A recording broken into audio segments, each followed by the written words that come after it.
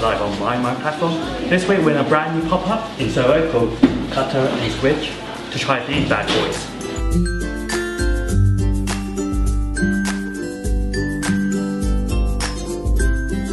We're with Cutter and Squidge, a brand new little pop-up selling sweet little biscuits. Hi. Hello. You're going to tell us how they started? So we started the company a couple of years ago. We're two sisters.